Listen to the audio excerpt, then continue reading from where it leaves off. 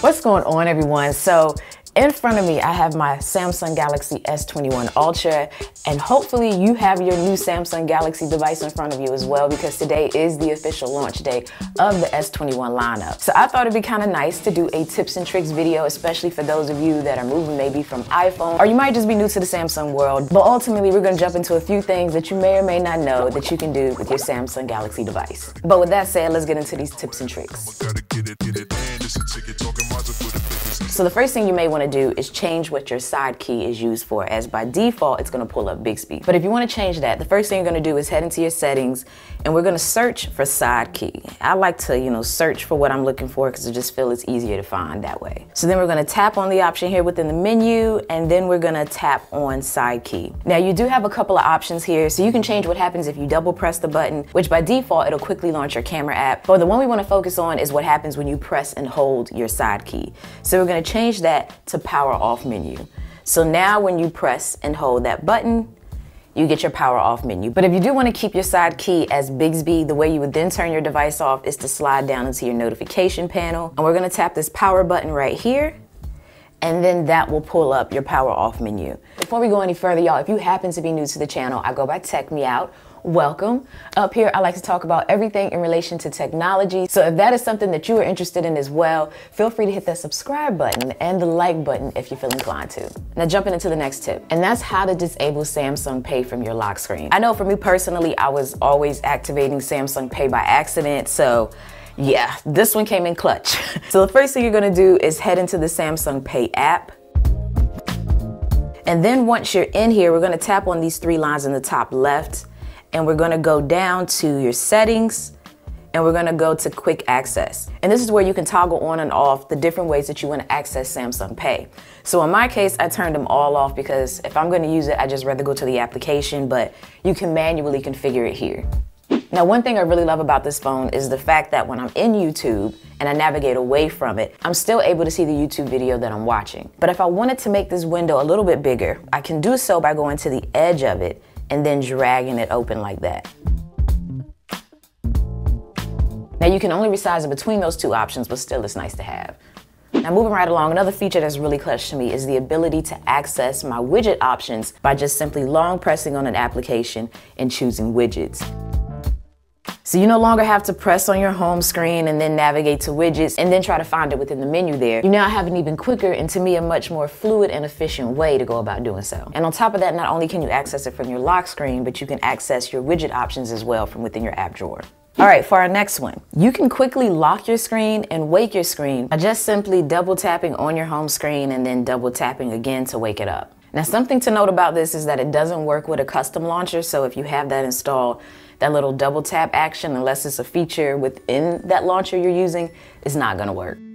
Now, if you want to spice things up a little bit on your call screen, you now have the option to do that with One UI 3. So you can actually have a video playing as your background when someone calls you. In order to access that, you're going to head into your phone app, and then you're going to tap on these three dots up here in the top left, and we're going to choose Settings, and we're going to go down to Call Background. So you got a few options in here, so you can customize your layout in reference to how your contact and their phone number appears. But the one that we want to focus on is this background option here in the bottom right, and that's going to let you choose either a pre-made video, or you can head into your gallery and choose one of your own personal videos. And getting it.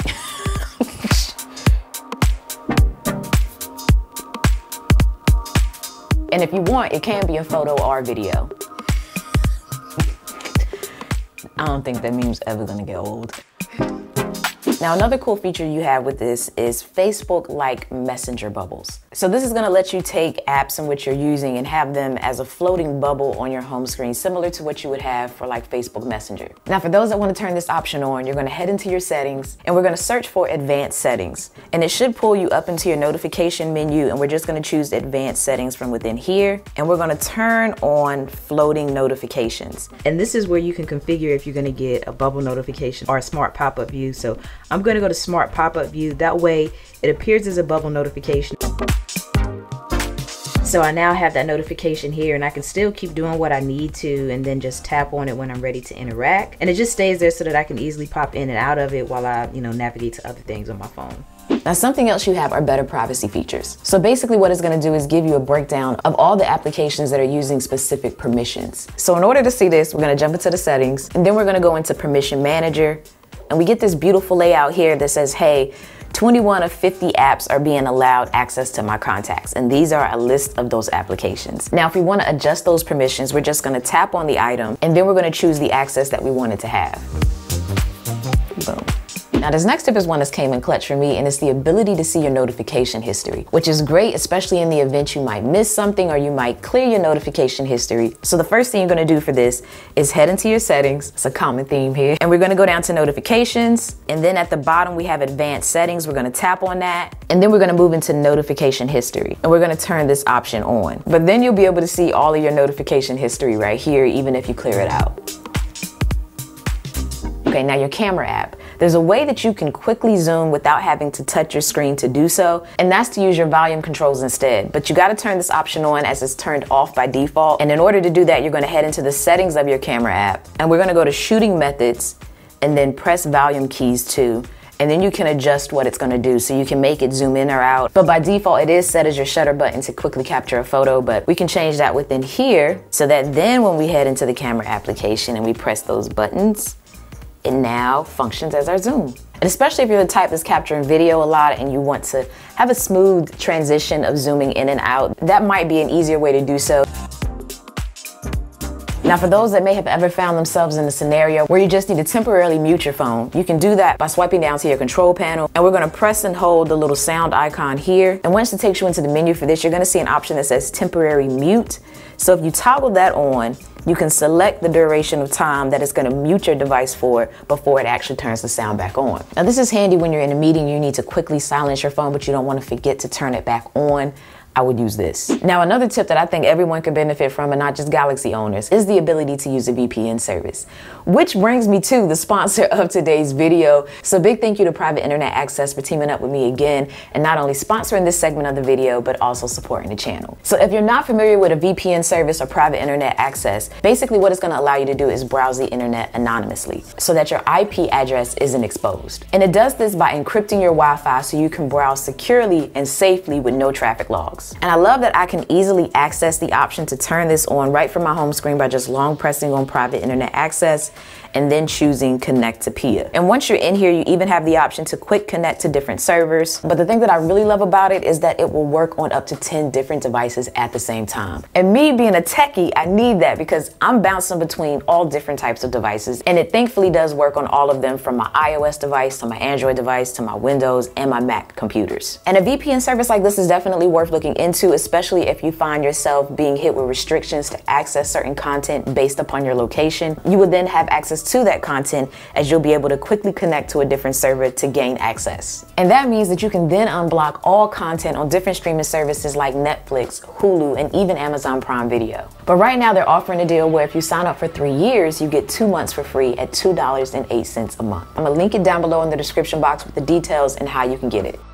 So for all of my people out there that have limited data, this next tip is one that you're gonna want to pay attention to. And that's the ability to better monitor your data usage. You can do that by simply heading into your settings and we're gonna search for mobile data. And we're gonna tap on the one under data usage that says mobile data. And then we're gonna navigate to billing cycle and data warning. And once you're in here, you're gonna match this to when your billing cycle starts. And then you're gonna turn on set data warning and when you want to be warned about how much data you've consumed. So maybe if your plan is five gigs of data, you're gonna wanna probably set your data warning to like four gigs so that when it hits that cap, you get a notification that you're approaching that data limit. But you can also take it a step further and set an actual data limit so that when it does hit that number, it's gonna automatically turn your mobile data off. That way you don't accidentally go over. Now for those looking for a way to jump between your two most recently used applications, you can do that by double tapping your multitask switcher down here. And it's gonna toggle between your two most recently used applications.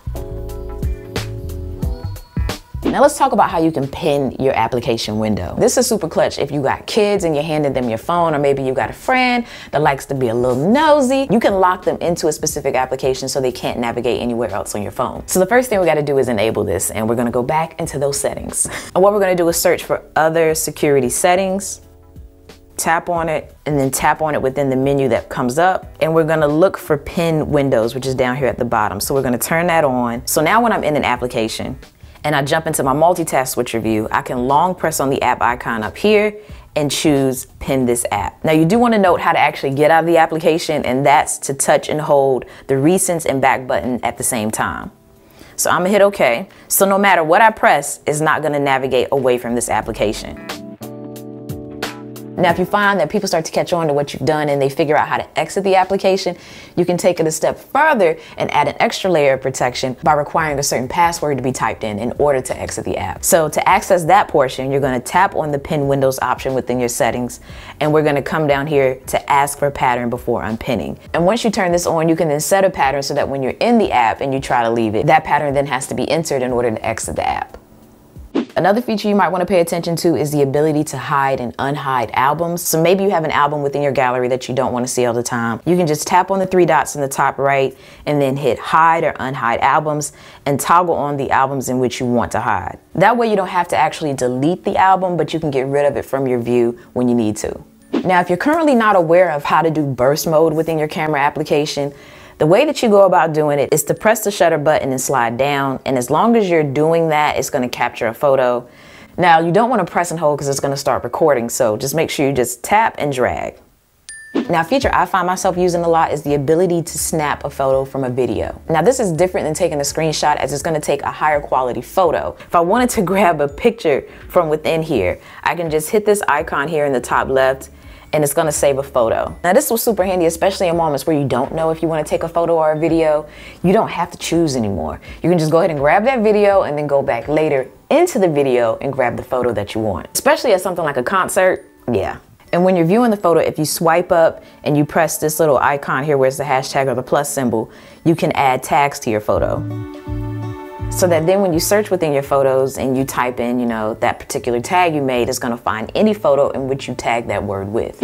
Another clutch feature is the ability to enable live captions for any media that's playing on your phone. So to access it, we're gonna, you know, adjust our volume here and we're gonna tap on those three dots so that it expands our view. And then we're gonna choose this little icon here in the top left and this is going to enable live captions. So what it does is detect speech on your device and automatically generate captions. And as you can see now that my video is playing, my captions are visible. So I'm gonna head out to my home screen, boom, it still shows me it even when the video is minimized.